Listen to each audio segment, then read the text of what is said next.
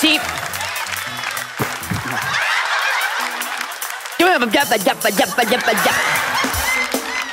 ¿Y cómo te llamas? Machín, por favor. Escúchame, centrala, ponela ahí. Que vaya a víncula al lado de Farfán y que juegue también. ¡Profe Gareca! Sí, ¡Bien! Ricardo, te extraño.